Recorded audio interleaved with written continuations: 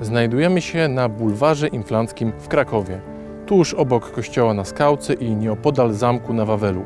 Zgodnie z tradycją to właśnie tutaj, na Skałce, został zamordowany święty Stanisław, biskup, męczennik i główny patron Polski.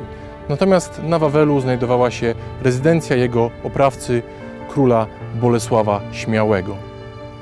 Znajdujemy się więc w miejscu historycznym, gdzie rozgrywała się polska historia, gdzie rozgrywał się konflikt. Jesteśmy na swego rodzaju osi konfliktu między rządną rozszerzania swoich kompetencji władzą polityczną, a Kościołem, który stawał w obronie wolności. Tamten konflikt jest aktualny także dziś. Pisze o nim w pracy Święci w dziejach narodu polskiego profesor Felix Koneczny. Królowi chodziło też o to, żeby nie dopuścić Kościoła do samodzielności, żeby pozostał zależny od jego łaski i niełaski, zawisłym będąc od udzielania dziesięciny, którą król mógł dać lub nie dać. Z całą swą krewkością zabrał się król do tępienia zwolenników nowego rozwoju społecznego, a w opozycji upatrywał zdradę popełnioną wobec siebie.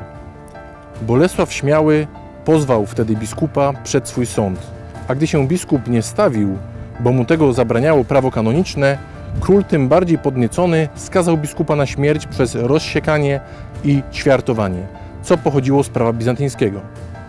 Gdy nikt nie chciał wykonać tego rozkazu, król wpadł do kościoła biskupiego na Skałce w Krakowie w towarzystwie trzech dworzan, ryzykując klątwę i kazał biskupa wywlec od ołtarza i ręką własną mieczem go przebił.